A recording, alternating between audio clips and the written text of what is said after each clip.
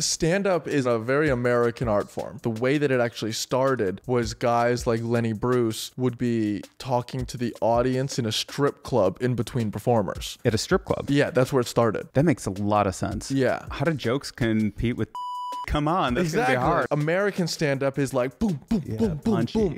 I went home for Thanksgiving and I'm talking to all these friends and they're like, dude, it is so cool what you do. Even though these people seem like they have a great life and it's easier, they're also looking at you like, I'm jealous. I wish that I had whatever weird thing in you that I could do that too. One of my favorite things to do with Dean, whenever I'm at the creek, if I was working the door and someone would walk in and I would see him there, I'd be like, do me a favor, go up and say, are you Dean Stanfield? And then they would, and he'd be like, yeah, you want a photo or something? Come on over here, I'll buy you a beer. And it's just like, they don't know who he is, but he's just so like gregarious that it's incredible to watch. Kurt Cobain would have been the greatest guitar player ever if he had just not died from a drug overdose. But I'm like, yeah, but whatever made him want to be a good musician, you can't negate the thing that was in him that was also doing drugs. If someone is really funny, but they don't have the confidence to go up on stage and fail in front of a group, then they can't ever become a Right. Yeah. Yeah. That's Because- what it takes.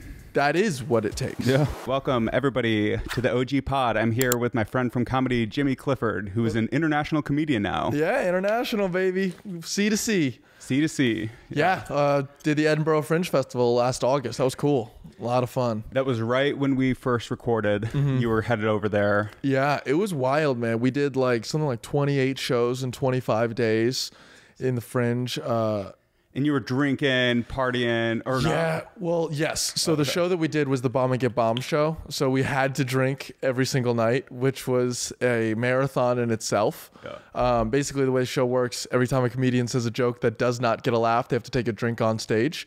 And so, you know, we, it was a great opportunity Did they get was- funnier as they went? Um, yeah, well, it was just like I think by doing that we got more of the audience that we were looking for because it's a fringe festival, it's an arts festival. A lot of people are like, "Well, I want to go see something that's going to stimulate my mind," and I'm like, "I do dick jokes." In the You park. know, exactly. So like when we're doing like when we're advertising it as a drinking show, we're getting like late night people that just want to have fun. They want to get you know involved, and so that was good. But uh, yeah, dude, sometimes like because one thing that I didn't anticipate was the sense of humor with like people in the UK is way different than in the US. Yeah, And I've I- heard that, but I don't know the difference. It took me a while to figure it out, and I don't know if I'm exact exactly like pinpointed it yet, but I think the difference would be like in the US we're kind of a lot more like go go go. So if we're going to sit down, we want you to like give us a joke every 15 or 20 seconds. Whereas in the UK, they're like a lot more willing to let you Set up a slow premise and like yeah tell a exactly story. and so that's why oftentimes at a place like the fringe or like a lot of these british comedians it'll be more like one man showy type Yeah. things where there's an arc to the set there's like a beginning a middle and an end and it all kind of connects whereas in the us it's nightclubs so we're based on like oh you got 10 minutes and you want to you know throw in 50 jokes because you just want it to be laughing the whole time Right. and so that was something that I had to get over. Also, they're more, and this might not necessarily be the UK as much as just like an arts festival in general, but they're a lot more like, you can't joke about that kind of thing. You know Really? what I They're mean? more restricted? way more restricted. I mean, I, it's so loosey goosey in Austin. Anything flies. what's the thing, right? In Austin, I am not an edgy comedian by any stretch of the word. But people were like, dude, you're really like offensive and edgy. And I'm like, are you kidding me? Let me introduce you to some of my friends. seriously. You know what I mean? Let me tell you a story about a man who eats somebody whole. exactly like it's just it, that took a while to to understand and there's also weird things because a lot of the things that we take for granted that another american will know they won't like i did a joke about helen keller Context. they have no idea who helen keller is they've never heard about her they never read about nothing like zip and i was like that's weird i thought that that was like an international thing or like buffalo wings they don't really know buffalo wings another just odd well, little that's just a tragedy. right? That's what I'm saying. But uh, yeah, it was fun. You know, I totally I learned a lot about myself, and I think I learned a lot more about how to like view myself from the audience's perspective. Did you mock him for losing the war? Yeah, for sure. Yes. Yeah. Mocked him for a lot You of things. to. The drinking. I mean, it was in Scotland, and those Scots drink, man. Like they are heavy-handed with the pours. You know what I mean? Not really, actually. I, I know Irish people drink, but it may, would make sense that they do. Yeah, the Scottish people just as much. I mean, Anywhere it just rains, what else are you gonna do? You Yeah, know? exactly. You're in the middle of nowhere. It's just fields and old castles. I mean, the place I was in, Edinburgh, it's actually that's where J.K. Rowling got the inspiration for Harry Potter. So when you walk around, you'll see like the University of Edinburgh looks like Hogwarts. Really? Yeah. It's like a castle type Uh-huh. building. Oh, Totally. cool. It's one thing I really like about Europe is the all the antiquity, like the castles Mm-hmm. and all the old buildings.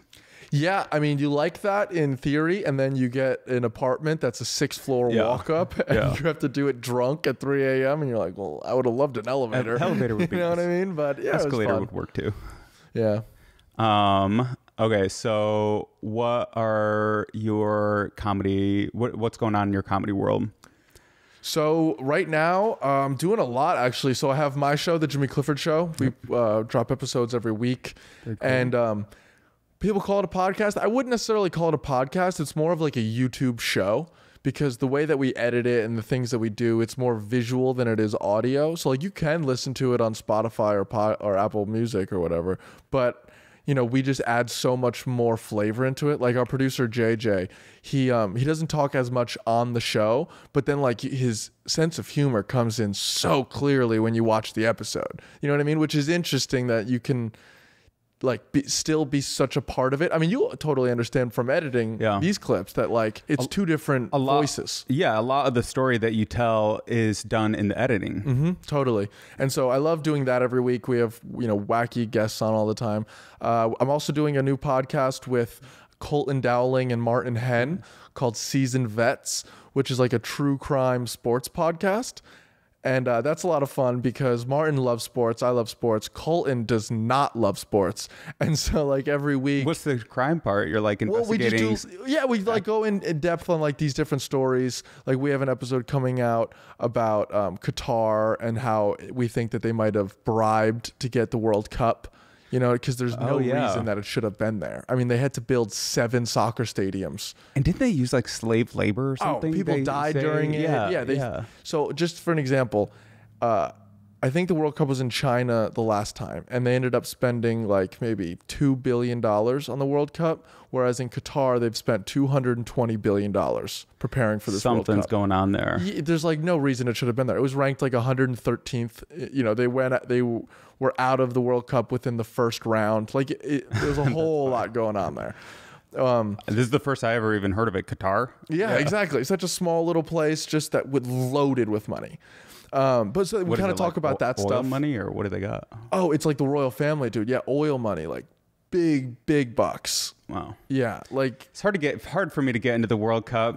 I mm-hmm. thought I saw maybe Hans posted this. Somebody had a good meme where they were like the most exciting parts from every game, and it was just like two scores. yeah, exactly. I know soccer is much more boring than like football or basketball because it's just slower pace. and It's just like, running I'm sitting here for 90 minutes and there's and then they fake score. injuries. Yeah. Oh yeah, they're flopping all the time. It's ridiculous. But when you do get a score, it is pretty cool. Yeah, exactly. What's interesting actually is so uh, when I went to Edinburgh, I met a girl and uh, we started dating, and I brought her to a Dallas Cowboys game. And the thing that she was most surprised about is she's like, "You let the fans enter together," and I'm like.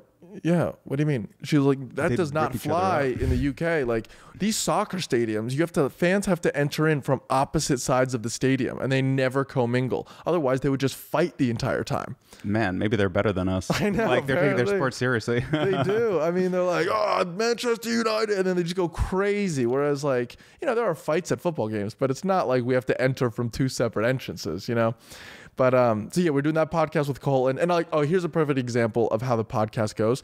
Basically, uh, we did a one episode where it was like NFL pickums, where we pick, we look at the matchups for the week and we choose who we think's gonna win. Martin does it based on like the team and how well they're performing this year. And on the most recent episode, Colton did it based on which mascot he thinks is more anti-Semitic.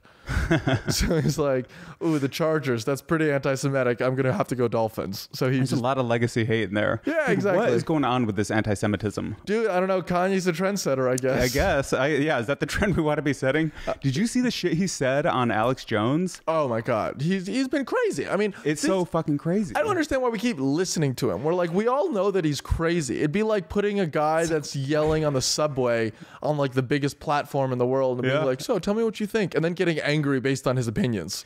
Well, except if that guy made like banger music every single I time. know. Did you hear he just dropped a new song? Really? Oh, Yeah, I'll really have to good. check it out. It's Really? what is it? It's really called? good. That's I'll- the I problem. They're like, oh, you know, it's this the mo- the best song he's dropped in five years, and he did it after he just went off on the most like funny. wild, you know, media tangent. It makes you wonder how much of these artists are being influenced by like I don't know their mental illness. like Yeah. obviously he's got something. You know, I think a lot of people have like some kind of form of like bipolar or schizophrenia. I don't know what it is, but Yeah. whatever it is, it seems to be actually an edge. Like it actually seems to be part of their creative. I um, think- abilities. Not that it has to be. Not that you have to have that mental illness to be creative or whatever. I feel so with creativity. I just think it's perspective. And I think when you have that sort of like chemical imbalance, you have a very different perspective than most people. And so that's what people find interesting about it. Hmm, that's true. Especially with comedy, it's about bringing a different perspective, a new way of looking at something. Yeah, like anyone can go in and say the same thing that we've already heard before, and we're like, okay, great, that's not really that interesting. But when some come, someone comes in with a totally new idea, you know, maybe they're crazy. It's still a new idea, and we're intrigued by it. So I think that's the main. Why there's so much mental illness in comedy. Now, do Oh you get some people God, get offended dude. when you say that? There is. I mean, anyone just that's think been offended. entertainment. Yeah, and anyone that feels the need to like get up on stage and tell a room full of people, "Look at me," This there's something wrong with them. yeah, You know what I mean? This is what I think. Pay attention to me. I just I so wish all the time that I had like whatever it is inside me that would just make me happy enough to just be like, you know, a contractor. No, this is better. This is Uh, more is it fun. better? Oh, it's so much more fun. Hang out at the creek, go do podcasts during the day, do mics at night. Okay, here's the thing. Like So- that's pretty fun. I have a really good friend and what he does is, you know, he lives up in the middle of nowhere, New Jersey, and all he cares about is snowboarding and fishing. That's cool too. That dude is the happiest guy I've ever met in my life. He's not even particularly good at either, but he just likes the act of doing it. And I'm like, Yeah. bro, that's so achievable. Your your dreams are like there. It's incredible. Like you you are living the best life you could every single day.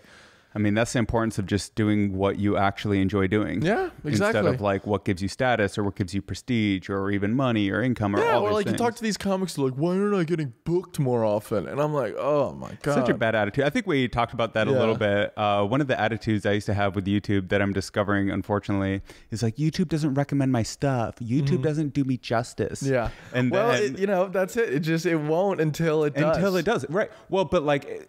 I mean, I was looking at my stats and I was like, these are on par with other people. Now, when I actually go and I'm now that I'm getting a little bit better at uh, the click through rate and Yeah. you know actually getting people to watch the video, my retention isn't that great. you mm-hmm. know, it's But not it's, like it's just terrible, but skill, not right? You just keep Yeah, learning yeah. how to do this thing. But but now I'm thinking a lot of this like shadow banning and people feeling like YouTube is like not you know I just think their content isn't that great yet. Like Yeah. their jokes aren't that good yet. They're just 100%. not that entertaining. Hundred percent. Yeah. Exactly. And like that's the thing I always tell myself. Like you know, sometimes I'll make a video where I'm like, oh, this is really cool. I think it's gonna do really well, and then it won't, and I'm like, oh, why? And then like three months later, I'll look at it again, and I'm like, oh, that wasn't that good. Yeah. You know what I mean? Like Yeah. I Oh, truly totally. do think the best rises to the top, and as long as you just keep producing stuff, it's gonna pop eventually. Or if not, who cares? Just enjoy the act of doing it, like you said. exactly. One of my favorite things that you said that I think about a lot is the quote, maybe you can remember who it was from,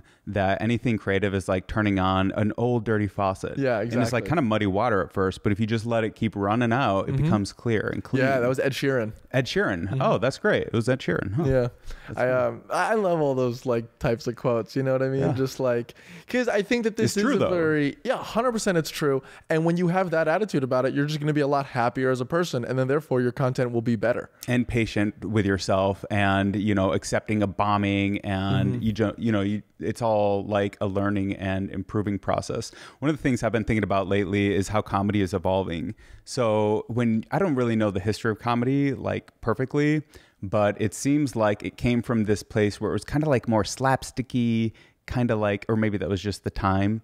Um but it was Are you talking comedy or are you talking stand up in particular? stand-ups in particular okay so i guess yeah no i am talking comedy but i'm i'm i, I wonder how stand-up is evolving specifically from podcasting and youtube because they just go so well hand in hand Mm-hmm. like they're perfect for each other you're going to be mining material or you know generating material in a podcast and then all of that is like baked and built to go on YouTube. As, as well as comedy. Totally. And so they all like, yeah, like, what do you think? About, do you think there's anything happening there? Stand up is in a very American art form. Mm-hmm. And I don't know if you know this, but the way that it actually started was guys like Lenny Bruce would go and they would be talking to the audience in a strip club in between performers. At a strip club. Yeah, that's where it started. That makes a lot of sense. Yeah. Um, well, actually, if we're if we're going back even further before Lenny Bruce, um, who uh, you know uh, Samuel Clemens, Mark Twain. So what he did was he would just start writing these funny little uh, articles in newspapers, and then he noticed that there was this one guy that would take all of his articles and he would bring them on stage and read them to people and they, he was selling out theaters and doing all this and he's like these are my art this i can do this so then he started doing that and then as stand-up kind of grew guys like lenny bruce would go to strip clubs and that's where like a comedy club idea really started and you got to think this is not a happy group of people that they're talking to Yeah. they went to a strip club for Yeah. a reason they don't want to hear you talk Right. about whatever the fuck so that's why i think How do jokes compete with titties? Come on, that's exactly. gonna be hard. and so I think that's why American stand up is like boom, boom, Yeah, boom, boom, boom. Whereas to be to more in the UK, they're like, mm, okay, let's let's dissect this idea, and it's a little different. And so then you know went from there, and it started to grow a little bit. You know, you got comedy clubs, you got this, you got that, and I think with the dawn of podcasting, because people listen to podcasts in their cars, they drive to work, they listen to it while they work out, while they run. Mm-hmm. People are a lot more comfortable with the individual. And so when you're going to see stand ups, you're not just going to see Jerry Seinfeld because I saw him on the TV show and I want to hear the funniest hour that he has. You go because, oh, I love Shane Gillis. I listen Yeah. to him every single week. Yeah. I just want to see Shane. Right. And that's where the difference is. And so I think that's why a lot of podcast, I mean, uh, a lot of stand ups are becoming a lot more honest in their stand up and talking about their personal lives. And they don't feel the need to necessarily just be as relatable to everyone else because they already have that built-in context. Yeah, that context is another thing we talked about. Well, I think we talked about, but is a huge part of comedy. Mm-hmm. Yeah, totally. like if you're in Edinburgh, like you're talking about, like they don't know the same references, the same people. Mm-hmm. And that's something that I always think about, even in terms of like creating content on YouTube, is how much do, do you explain? How much do you assume that somebody knows because they clicked on this thumbnail and title, they have some context already? You know, that's a hard thing to figure out in Mm-hmm. Yeah, I- storytelling and entertainment. I totally agree. I think that's interesting because I mean, I'm still trying to figure out that kind of context stuff where like am I over explaining something? Should I just go for the meat and bare bones? I think on YouTube you're probably better off over explaining because if you do, people can just skip, it. Right. And that helps. But like It's almost the opposite in stand up though, because Yeah. if you are over, yeah, you're losing the momentum of the actual joke, and then they get to the punchline before you, then it's gone. exactly. And it just it totally doesn't work. And I noticed You that a want them lot. to come. You want them to feel a punchline is coming, and then you hit it with them. And you know, like there's like a double effect that I've had a very few times when I've tried. Hundred percent, and that's actually another thing that I found interesting about Edinburgh is they don't like the rhythm of that. They don't want to know when the punchline's coming. They want you to hide it. The whole time, so it just time. comes out of blue or whatever. Left yeah, field. like when you are listening to a comic and, and you can feel like, oh, a joke is about to come. Like, um, there's a, a Ryan Long joke that I love where he goes, uh, "Did you know there are 72 genders?" And that's awesome because that means that men are better than 71 genders. like you can tell that there's going to be a punchline right after he says that's awesome because you know the context of who he is and whatever. But like someone like Daniel Sloss, who is a Scottish comedian, he tries to like mask and hide his jokes. So like Ricky Gervais just masks jokes in it, and it se- it comes off as a lot more just like witty than it is funny. But like I think that actually is kind of my style. yeah. And that's the interesting thing is like everybody finds their own kind of like style and rhythm, but it it interests me that like when you do that in an American club, it doesn't work as well Right. because like let's say, you know, you're at the Creek and the Cave and you're doing a set and it's part of a showcase, so there's seven comics going and you're fourth comic in the line Right. the audience has already been conditioned. It's like a it's like you have music. the rhythm. It is music, right? And so then when you change that rhythm, they're a little confused. Confused. And so you kind of want to keep it going. Whereas in the UK, people are doing this like and then I go and I'm like brrrpa, brrrpa, and they're like, "Whoa, that was weird." So you have to like mold your set differently. Not that you're to like change who you are or what you're saying, but like just like you would talk differently with one friend group than you would with the other, it's Totally. the same vibe. Yeah, tailoring your Mm-hmm. tailoring your comedy. Um, it's a hard thing to figure out, like uh, your style, your voice. Like, what is your unique approach to entertainment? Like, what do you have to offer of value to people? Do you know what's interesting is recently I've noticed that I think my stand up has been getting much better and I've been doing much better on stage because I stopped caring. You Like- hit like you bombed enough times in a row or something. Like, well, how did that? It's not that I bombed enough times in a row. or you just like, got comfortable. Well, I got comfortable in the sense that like I know that I know how to do this and whether the show goes well or not isn't going to change anything. And so I'm like, okay, let's go. And then I'm kind of I'm just like kind of I I guess comfortable is the right word, but it's just like um like I truly don't care whether it goes well or if it doesn't. You know what I mean? Yeah, you're just here to do your best, and it becomes a lot more fun for me Right. to do it that way and i've been enjoying stand up a lot more because of it but like one of the things and i think this is something that a lot of comics fall into that i think is probably the worst habit you can do and people always say it and it's a lot easier to say it than it is to live it but like stop caring what comics think Th- they, they don't matter That's hard though because those are the people that, That you kind of care about. Yeah, you uh, their opinion. i know but ironically they're going to be more impressed when you don't care about their opinion than when you do That's funny. yeah, like truly, like when I just, you know, when you, when you first come to Austin, I was like, oh, I want, I want to do well. I want all these guys to be like, oh, Jimmy, he's a good comic, blah blah blah, and then I would just eat dicks, you know, I just bomb. I was impressed the first time I saw your show at Creek. I was like, "Shit, this guy's really funny." Thank you. Yeah, But it was just like I, I've felt so much better and more comfortable since I stopped caring about it. I'm like, I already know these guys. But I think maybe part of what that is is it is it not caring like I don't care if this goes good or bad, or is it just like I'm doing my best to have a good time, a good show? Yeah, like, and, I- and I not doing my- my best like I'm under pressure. Just like let's just have fun. We're gonna hang out. It is what it is. Yeah. If it bombs, it's fine. We're you know just gonna try it again the next day, so it's fine. Yeah, like I did a show the other day and it was like it was such a fucking hell gig.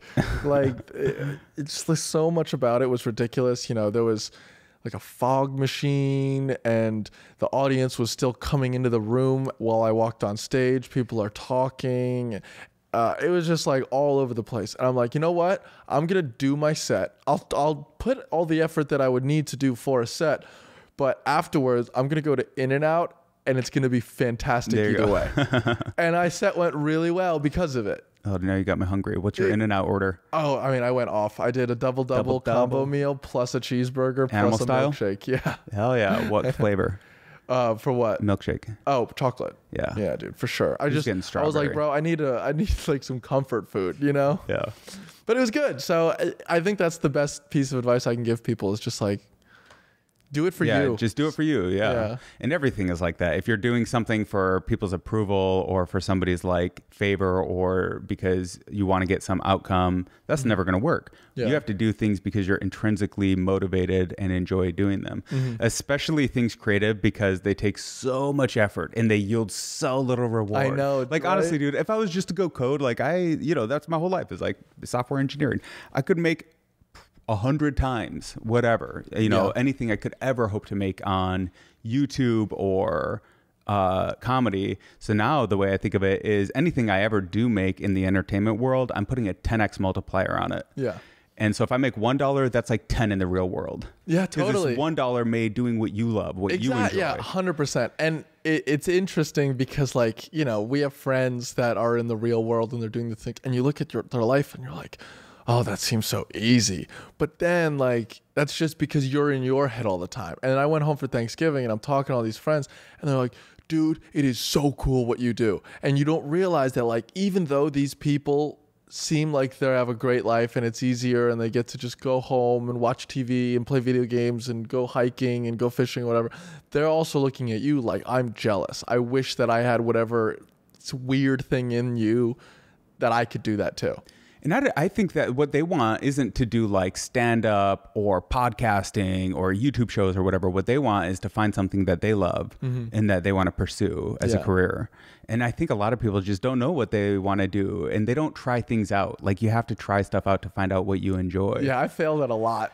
so. I, I failed at so much. What I don't know if you, if you agree with this, but I've noticed for some reason a lot of comedians were interested in magic from a young age. The gathering, the No, card? like just oh, oh magic. oh, magic. Yeah, like yeah, totally. Card tricks and all Yeah, that kind of. yeah. Like I, when I was in high school, I was like, "Oh man, magic is so cool." And looking back on it, I'm like, "What a dork!" But It is like, dorky, It is it so is. dorky. Yeah. But it's like I had so many weird little hobbies that I did before I found stand up and like content creation as like the thing that I enjoy most. I think there's some kind of parallel now that you mention it between magic, stand up comedy, and stripping. Yeah, exactly. like, what is the common thread between all those? Look at live me. performance. Yeah, look at me. Live performance. Look at me.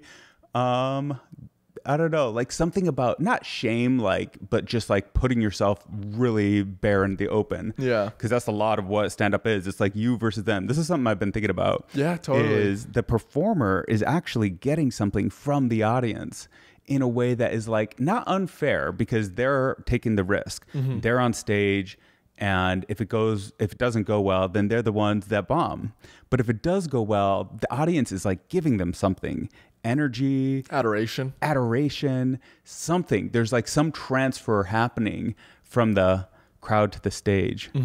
And I don't really know what that is, but I feel like it's the same thing in anything, like in YouTube, uh, through comments and engagement and all these things. Like, yes, you're putting stuff out there to try to entertain people or inform them on YouTube or whatever it is. You have your your motivations, but like and and you get paid for it if you do it really well through through brand deals and through ads advertising and all those things Yeah. but i think the the payment that you really get is immediately and live from the audience Now, I have a question. What do you prefer? Getting that sort of, you know, flowers or gratification live or in comments online? um i think it would depend a lot on everything like if it was live and it was like a real like everything being equal same number of people live versus same number of people on youtube of course live because you're going to get that energy times 10 Well, I'm saying like, let's say you do a set, right? You do a set at the creek, you walk off stage, someone walks up to you and goes, "That was funny as fuck," yeah you'd rather have that or they comment on the video, "That was funny as fuck." I think one that was funny as fuck in person is worth five comments. Interesting, because I was thinking about it. Um, I did kill Tony the other day, and I Hey, got a bunch of people reaching out to me saying nice things, which was very sweet. But whenever I'm in like doing stand up, I much prefer them to walk up to me and say like, "Oh my god, that was great." I prefer that over like a comment. But if someone wants to like go in depth and be like, "That was so funny," blah blah blah, I don't. I get uncomfortable in person. Whereas when I see like a big long post written in a comment, that feels much better. Yeah, yeah. There's weird? there's nuances there, but I think generally like the feeling that you're chasing in live entertainment is that immediate feedback from the audience. Yeah. And I don't, you know, you're never going to get that from YouTube. It's nice to get a video that is no, one out of 10 Mm-hmm. and you know that always feels good. But it's not like the same as getting, um, I don't know, real laughter. Yeah, you know, Oh, well, the laughter that's that's a totally different thing. I was just mostly talking about like the comments, but yeah, laughter I think is the greatest thing in the world. Like it's my favorite thing. I would. even if you're just hanging out in the back. Oh, that's why. That's literally I think the reason I do stand up is Yeah. just why So you feel can hang out in the back. comfortable Yes, to hang out with comedians in the back. Dude, that's a big part of it. Actually, It's the- it's that's the the, only price you got to pay to Oh my to God, it's so much fun. Mm-hmm. deserve the company or whatever to earn the company. Because Yeah. we because everybody has to take a turn being embarrassed and you know like putting themselves on stage, Yeah, exactly. And, And- it, it, it puts us all on the same level too. right? And that lo- what is that level? That level is like we're people that are willing to put ourselves out there and. Uh, you know, take a little bit of a risk for Mm-hmm. the chance that we do something funny or like say something funny. Yeah, j- just like it's wild that we're willing to uh, risk all of the humiliation that come comes with it just for like a haha. Yeah, just You know I ha. Yeah, like that feels good when you start. Like that was a- worth it. Oh my god, I'm so validated. Like there's something there. You know what I mean? Like hours and hours of just going over your notes for like something that's so fleeting. Yeah. But Yeah. It, there- there's a lot of work that goes into it. I'm not really focused on comedy uh, in terms of stand up right now. I really want to get to the point where I feel confident in my ability to create a good show on YouTube, Mm-hmm. both through this podcast and I have another channel called Hot Takes, which is actually a pretty strong comedy outlet for me. It definitely scratches a very similar itch Yeah, yeah, yeah. of just saying the thing. Like you want to get your idea out there. Yeah, I agree. I think um, over the past couple of years, I've really focused uh, on stand up just so I can get a more comfortable and uh, feel like I belong. And now that I do, I'm kind of focusing more on the content creation and trying to like build the actual audience, Yep. just so I can stop fucking barking on the street like comedy show, comedy show, Yeah. comedy show. You know what I mean? I just want people to come. Right, Like, right. because now I'm, I'm doing another show, uh, a weekly show at the Creek. So I'm going to be running two weekly shows in Austin, and I have the That's two awesome. podcasts. What's your Creek show called? And the? Um, it's called Unsupervised. It's Wednesdays at 10 p.m. It's uh, Nice. it's a showcase, and it's just going to be like you know whatever wild comedians I uh, I book for the week, and they're going to be like local guys, and they're also going to be like people coming in from out of town. Because thankfully, you know, I've been able to travel a lot. I've been doing a lot of college shows. So um, I reach out to these colleges, I book uh, shows, and then we, me and a couple buddies will go out. Like we've done the University of Miami, we did uh, Kansas University the other day, we just did Southwestern University on Dude, that's Friday. awesome. Yeah, and it's fun because like there used to be this huge market for comedians in colleges, and then it was like everyone was getting too PC and they didn't want to have comedians that would like push the boundaries. And I think the kids really appreciate us going in and being like, we're going to talk to you like regular people. Nice. And uh, we're just having fun. it it it sprung back or whatever. Yeah, I kind of. Like it I went mean, too far one way, and now it's like. well, the difference is because I don't go through the actual colleges. I go through fraternities because fraternities have to hold events. And so I'm like, hey, why don't we do this comedy show as a way to raise money for your charity? it's like a ridiculously good idea. Thank you. Yeah, yeah. yeah. Yeah. You know, just because all so we want to send do. them like a reel or like your Instagram pages. yeah, the Instagram page is pretty big, so like they can just see that. I have plenty of content online; they can check out all that stuff. And I also, you know, we've done plenty of colleges now. We've done like NYU, Fordham, uh, we did Ramapo, Miami, all, all over the place. Did they fly out there or? Yeah, uh, you know, yeah. depending on the school and whatever deal I set up, uh, Miami flew us out there. They put us up in a hotel. We did the show. They ended up making like ten thousand dollars for their uh, charity, so that was great. And um, I mean, you're getting there, man. That is the deal. Like Yeah. that's what real comedy is. Like Yeah. you're going places and telling people that you don't know what you think. exactly 100% and the kids appreciate it like they, they they want the comedy and the good thing is because it's with fraternities and it's not with like the university in itself we're not restricted in what we can and cannot say yeah, that's a really good idea. Yeah, don't go through the colleges. Go through the frats. Mm-hmm. That's going to give you much better uh, population or like a, a better audience. yeah i will say sometimes it gets funny like we did a show at southwestern university and uh you know, we, we booked it through the fraternity, and the um, all the dudes in the fraternity loved it. Like they were like, "This was hilarious. We loved all the comics." Their girlfriends did not. Their girlfriend like there was because you know they're college kids, so they're out, they're drinking, they're talking. So there was a lot of talking amongst them during the show, which was rude. And so uh, Dean Stanfield, you know Dean Stanfield, so funny. Yeah. He walks up and he just goes, uh, "Guys, gonna be quiet. There's a lot of talking." men handle it Handle it. Handle it. and every girl in the room went excuse me and they just got up and it was it was hilarious He's a good example of somebody who has a lot of stage presence. oh dean yeah dean is he like he was born knowing that he's going to be famous one day and i think that dean would be a great famous dude you know what Oh, i mean he's on his way. Yeah, one He of my to favorite keep things to do with. Dean is like whenever I'm at the creek, if I was working the door and someone would walk in and I would see him there, I'd be like, "Do me a favor, go up and say, "Are you Dean Stanfield?" And then he they would, and he'd be like, "Yeah, you want a photo or something? Come on over here, I'll buy you a beer." And it's just like they don't know who he is, but he's just so like It is funny. to- gregarious that it's incredible to watch. yeah. But The trolling that comics do to each other Oh, is hilarious incredible. but ruthless. oh, ruthless, exactly. Ruthless. Yeah, but that's the fun part. Is like you know that they're never gonna bullshit you. Yeah, that's true. And that makes everything like the best part is that you're getting real shit. Mm-hmm. Like my mom will see things that I I'll tell my comedian friends, or I'll be on the phone and I'll say things. She'll be like, "How could you say that to your friend?" Yeah. and I'm like, "You would say it behind their back. Isn't yeah, that that's true worse?" too, actually. Yeah, that is worse. People say everything. The difference is a comic will say it to your face. Yeah, exactly. I'm being 100% with you right now. But You- why do they do that? Do they want to see a reaction? They want to get a rise out Probably out a little bit of both. Yeah. Yeah. Um, also, I don't. I think comedy is the one art form more than any other that doesn't value bullshit.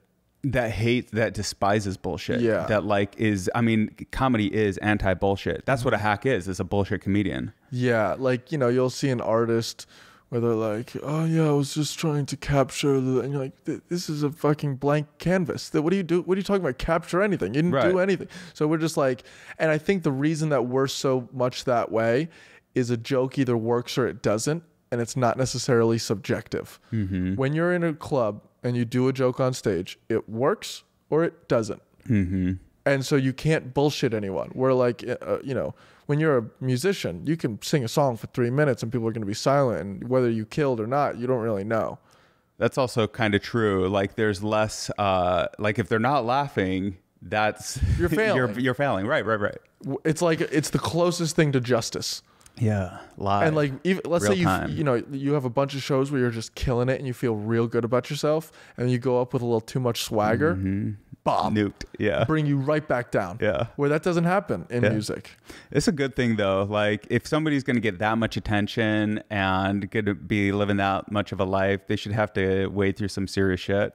Yeah, in terms of exactly. bombing and And I think that's why you see comics, th- they're able to get good at so many other creative arts because they they're like, comfortable failing. yeah, they're comfortable failing and they're not afraid to fail. Yeah. Where, like, you know, you ever see like a musician that tries to do stand up and then they just fill the room with all of their fans.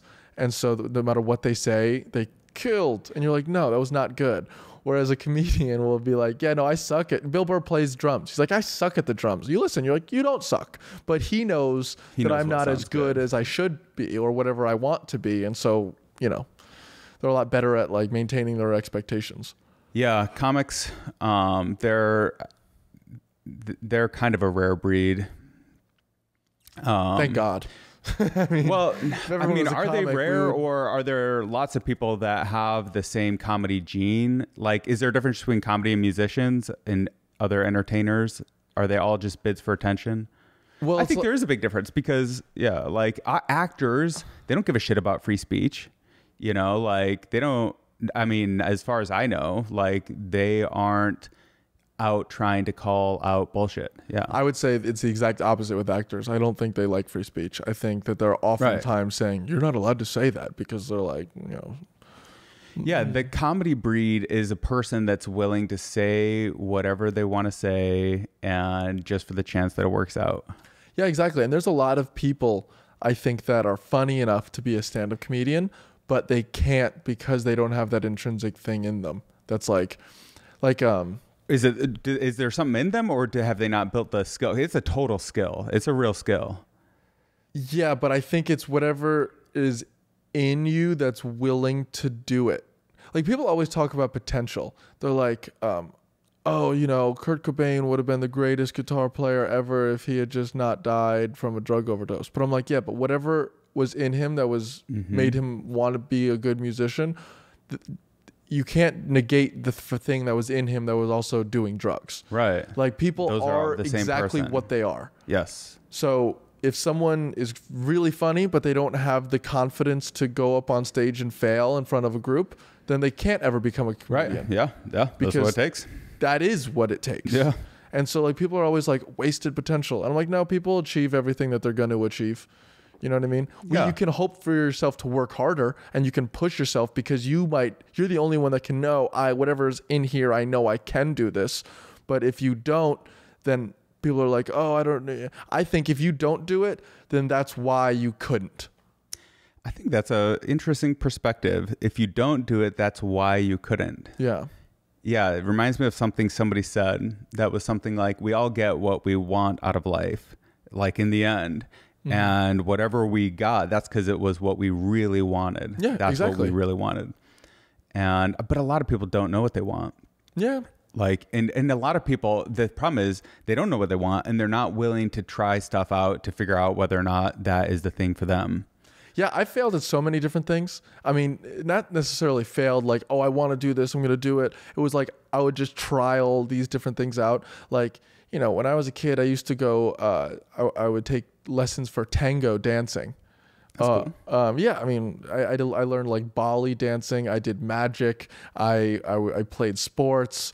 I did acting. I did directing. I would write stuff. Like I tried so I tried playing the guitar. I tried playing the trumpet. Like there was so many things that I just dipped my toe in before I realized like, oh, this is what I want to do. That's awesome. And I think a lot of such a head start, like to, to to. But I think that's your personality. Yeah. It's like you're saying, like you're the type of easy. person You know what I as mean? a well, but yes, but like also as a kid, you were intrinsically motivated to try all those things Mm-hmm. and you weren't too scared to do them like i probably had a lot of those motivations too difference is i didn't go to wrestling practice or whatever Yeah. Uh, and it wasn't until way later in life that I got the confidence to be like, okay, what is it that I really want to do? Where do I, how do I really want to spend my time? And even just like ask those type of questions versus like you're naturally just exploring whatever you're interested in, whether it's sports or entertainment or stand up. And then that is how you uh, found stand up and comedy is through trying all those different things. But you have to be willing to put yourself out there and try those things in order to even find it to begin with. Yeah, I think one of the things that my parents did a really good job of is they're like, no one's going to give you anything. Yeah. You know what I mean? If you want something, go take it. Like if you want to have a fulfilled life, find out what will fulfill it. And, you know, a lot of people are just like comfortable kind of cruising in the safe and, you know, practical way, but then they are not as happy. Yeah. Like I thought, you know, I love film and I, I want to be a filmmaker. And so I went to film school and then I worked at a production company in New York for five years. And I realized, oh, I'm not happy. I don't like this. I don't want to have to wake up at 6 a.m. and then work a 12 hour shift just to make like less than a minimum wage worker for, and, you know, I'm getting coffee and I'm picking up boxes and I'm doing all this shit. And then I was like, is this helping me with what I want to do, which is make films? I'm like, no, it's not. And so, although people can think in my head, oh, this is what you have to do in order to get better at the, it's not. I think like the best way that I've ever gotten better at filmmaking was by making films. Yeah, yeah. I mean, it comes back to the running water. You just got to keep, you know, producing that stuff. But people think, oh, I'm in the world of it and I'm on set and I'm seeing other people do it. But it's like, that's not the same thing. you heard the quote, "The man in the arena." No. I don't know. It's a famous person wrote it. I can't remember the full thing. It's like a couple paragraphs, but it, uh, it's a poem actually, and it talks about how the credit always goes to the man who's actually in the arena. On the sidelines, we all want to jeer at that man and say like, "Oh, he messed up." Like it's easy to point out how the person who's actually doing the thing failed. Yeah. What's hard is to actually go put yourself on stage. Totally. That's what's hard. Yeah, exactly. And like, especially with the film world, it's such bullshit because people are like, well, I, I could make such a good film. I just don't have the budget. Yeah. The budget, dude. anytime that you catch yourself thinking that way, like Ridiculous. you got to rip that bullshit out of you. I'm prone to thinking that way. Yeah. And yeah, like the truth is, everyone has a lot of ability to take control of their lives in any way, in any way. Like you can just start sleeping and eating better, and that's going to give you more energy. And then that can help you, you know, perform better and get a raise at work. And, you know, like you could start whatever you want to do. It doesn't have to be podcasting, it doesn't have to be entertainment. Yeah. Whatever you're interested in, you can cultivate energy for that and uh, improve in that. But Have you ever heard of Sean Baker? um, yeah, is he a? He's a filmmaker. Oh no, I guess I haven't. Then. So yeah, really cool dude. He's a filmmaker. He did movies like The Florida Project, and uh, he did another one called Tangerine. And I love Tangerine because he filmed it all on an iPhone. That's cool. The whole movie is on an iPhone, and you're like, oh, you can do anything you want. Yes. Like you know, a show like The Tonight Show has these thousand dollar cameras and cameramen operating them, and all of these guests and all of these lights, and it doesn't get nearly the viewership that Rogan does with Yes. two DSLRs. Yes, and well, but what's so funny about that is the more complicated you make things, the more expensive it is to maintain them. Mm-hmm. Now you need some guy who needs to operate that camera that nobody knows how to use. Exactly. Versus if you just use an iPhone, everybody knows. You know, like you can find somebody on the street, hey, hold this for five minutes. And I'm actually pretty excited about the next generation of creative tools for content creators. Um, this is something I've been thinking about a lot, and I cannot believe I almost wonder if I like knew that this was going to happen in the back of my mind, and as part of made me what made me want to do YouTube and comedy, because I think content creators are about to get superpowers compared to normal people from artificial intelligence. Mm-hmm. So we already use the captions app, or how do you add captions to your stuff? Oh, manually. Manually. Okay. Yeah. Well, so like imagine if instead of taking the time to do that, you just told an AI, give me three variants with uh, captions on uh, this video where all of the ums and the buts and the filler words are removed. Any background audio that's distracting is taken out, and Yeah. and the audio is leveled between everyone participating in the conversation. And then it gives you like five variants and you listen to each one and then you pick your favorite and then you're like, okay, now color grade this with something warm or, you know, something Yeah. that matches the tenor of the conversation. Now slice and cut five more clips and slice in popular media media. You're going to be able to write this, like mm-hmm. describe just like you would to a person Yeah. to an AI and it's going to do this. I think in less than I'd say less than 3 years. Wow. because the two things that happened this year that is going to change this so i'm a tech guy eh, previously to entertainment. A lot of my background is at snapchat. We did a lot of ai stuff. Yeah. and we were very early in like the filter i mean we pioneered filters. Yeah, like we started all that stuff. Uh, it was uh, victor uh, can't remember his last name but anyway we bought a company in in ukraine. And so uh, this AI stuff is getting so freaking powerful. So the two things that happened this year was uh, this new AI model called Stable Diffusion. It basically downloaded every image on the planet and trained itself on that set of images.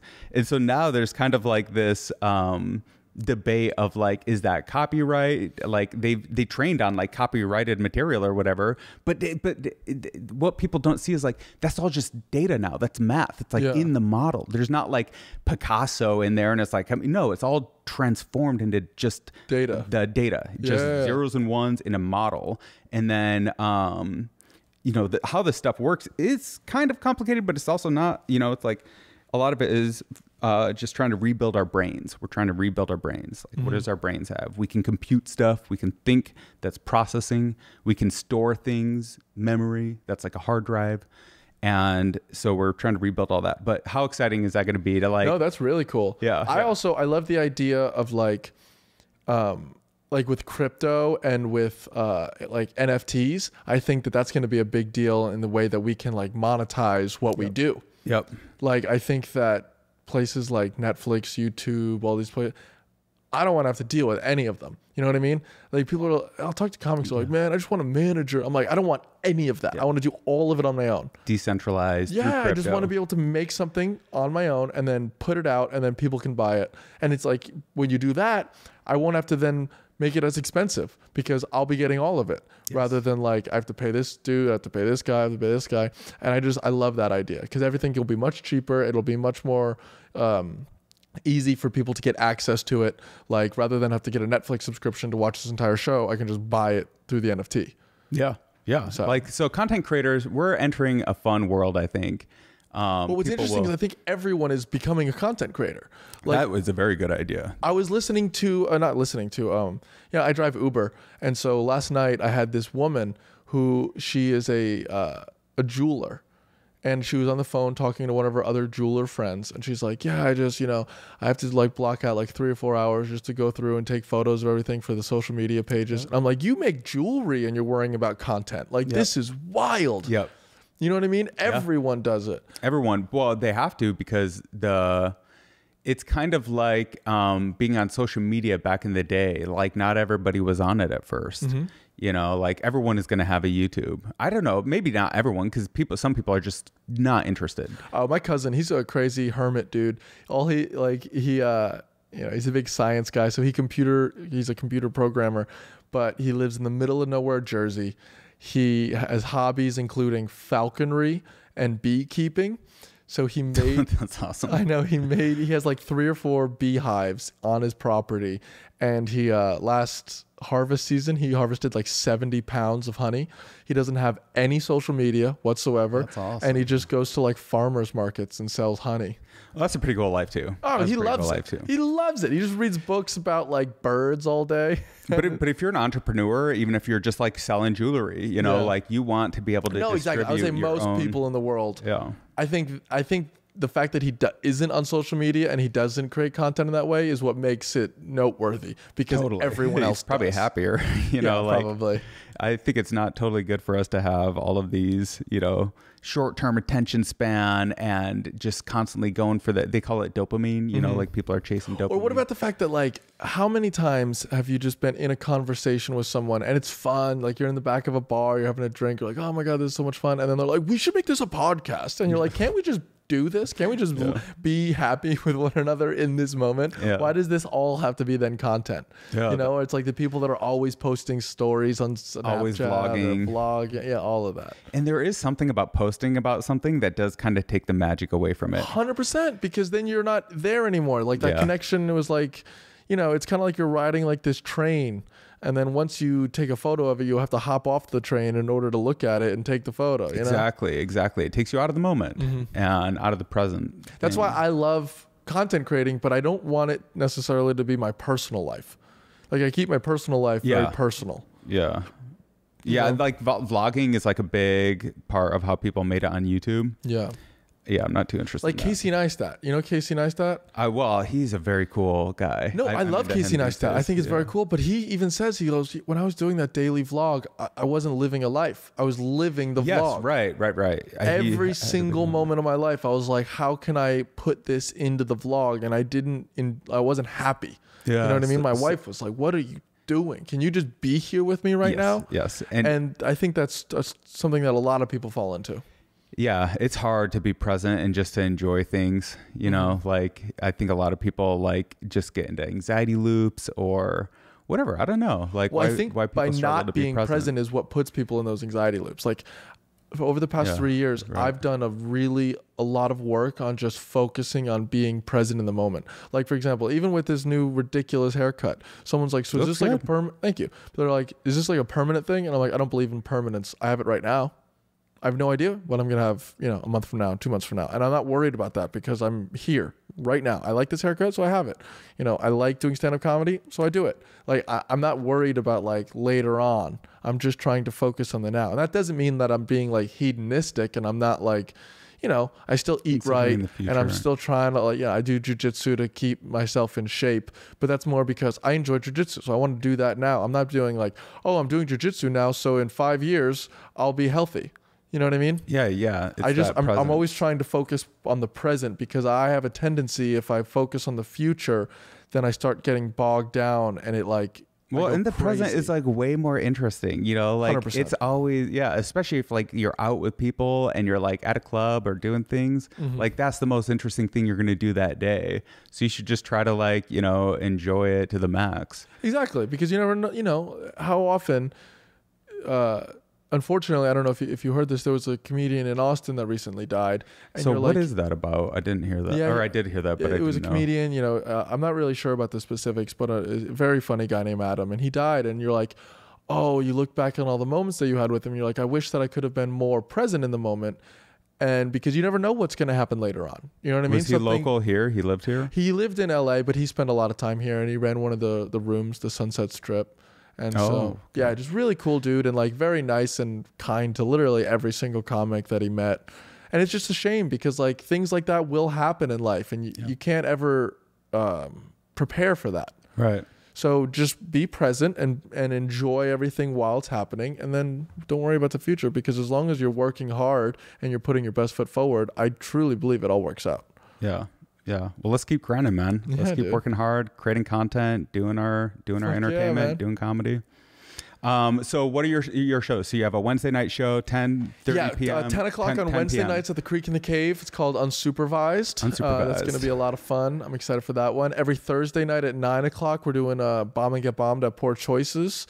Um, I do the a podcast called Season Vets with Colton Dowling and Martin Henn, and the Jimmy Clifford Show with uh, my producer JJ and my friend Greg DePaul.